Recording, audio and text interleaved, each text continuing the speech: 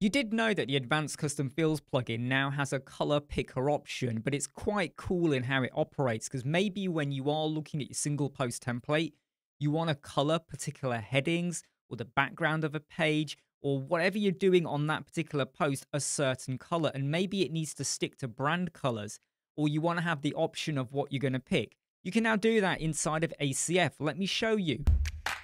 I am using the Advanced Custom Fields plugin installed and activated. What I'm going to show you, you can do on a normal post product or a custom post type as well.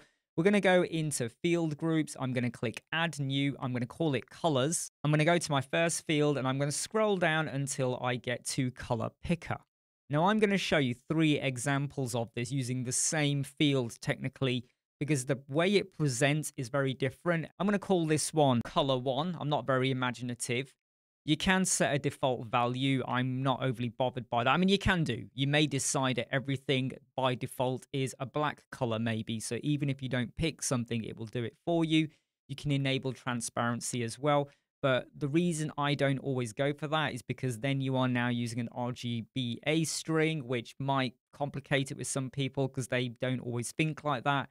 Hex code's a bit more easier you just got to make sure you put like an FA or an AAAD afterwards to mm, sort out the transparency. But the important bit is when we come over here to the presentation, when I click that, you have the option for show custom palette, show color wheel. Now for the first one, I'm going to leave just the color wheel, not the custom palette. Then I'm going to duplicate this field and we'll leave it as color 2 very nicely. It's renamed it for us.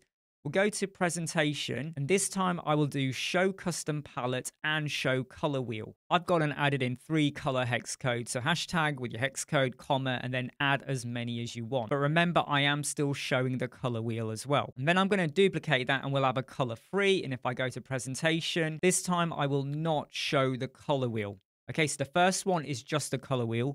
The second one is the palette, the custom palette and the color wheel. And the third one is just the custom palette. I prefer option number three, and I'm now going to show you what would the user or person who's doing the post see. Oh yeah, don't forget at the bottom, make sure your post type is equal to whatever post type you're doing. I'm going to go into one of my example posts, and you'll now see at the bottom those custom fields. We've got color one, color two, color three.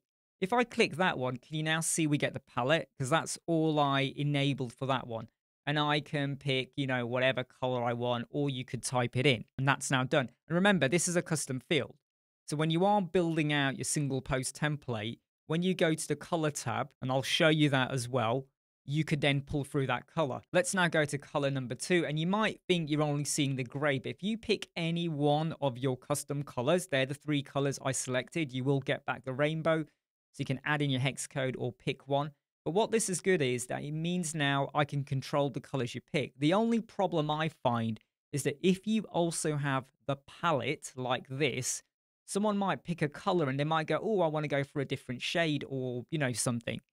And if you're sticking to particular branding, that completely breaks that up.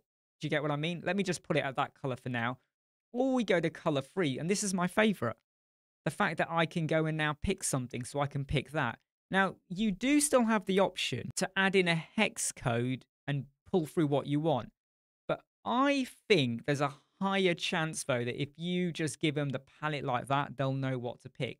So I'm just going to go for that red color again.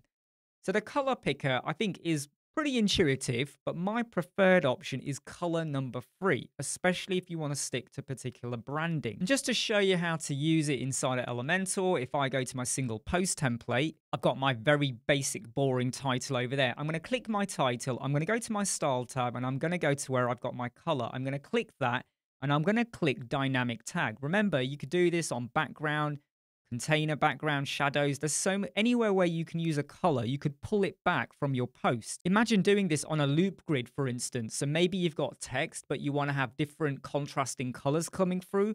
So you get to have lots of variety without you having to create lots of different templates for your loop grid. Anyway, we're going to click dynamic tag. I'm going to go to ACF color picker field. Hope you can see that on screen okay. And then I'm going to click the spanner or the wrench. And for my key, I'm going to pick color number three. And that will change to the red color, which is what I had for color three. If I went and picked color 2, it should change to the orange color. Pretty neat, right? But like I said, I wouldn't want to show the color wheel. It's entirely up to you if you want to give them flexibility and freedom. I would want to control it a little bit more on what they can pick. I hope that helps you out with some custom styling. I'm Imran from Web Squadron. I hope you like, subscribe, share, and follow. I'll keep seeing you. Take care. Bye.